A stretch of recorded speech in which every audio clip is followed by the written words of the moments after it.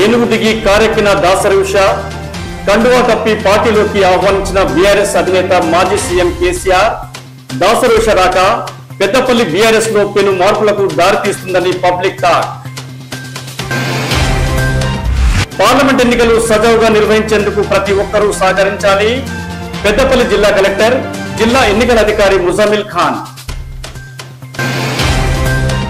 Rangampalli Saint Ann's పాఠశాల పదవ తరగతి పరీక్షా కేంద్రాన్ని ఆకస్మిక తనిఖీ చేసిన జిల్లా కలెక్టర్ ముజామిల్ ఖాన్ పదో తరగతి పరీక్షల నిర్వహణకు పకడ్బందీ ఏర్పాట్లు చేశామని వెల్లడి.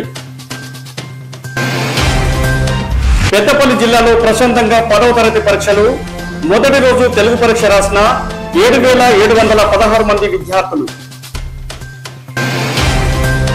జిల్లా కలెక్టర్ ముజామిల్ ఖాన్ను కలిసిన డబుల్ బెడ్రూమ్ ఇండ్ల లబ్ధిదారులు లాటరీ పద్ధతిలో ఎంపిక చేసిన లబ్ధిదారులకు డబుల్ బెడ్రూమ్ ఇళ్ళు కేటాయించాలని విజ్ఞప్తి.